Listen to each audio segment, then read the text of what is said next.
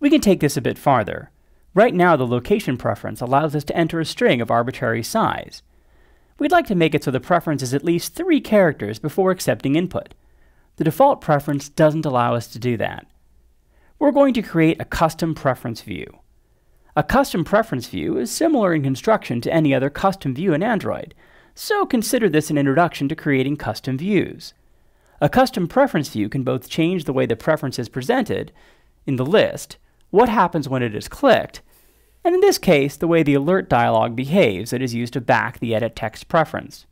We're going to give our custom view a custom attribute for the minimum length of location, mostly because custom attributes are cool. So let's start there. We'll create a new values file called attrs.xml. We build custom attributes using the declare styleable tag. Each attribute in declare styleable has a name and a format.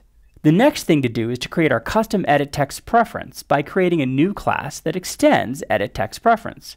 And that new class will create a constructor that uses a context and an attribute set. That attribute set is what we use to read the value of our custom attribute. We call context.getTheme.obtainStyledAttributes, passing in this value.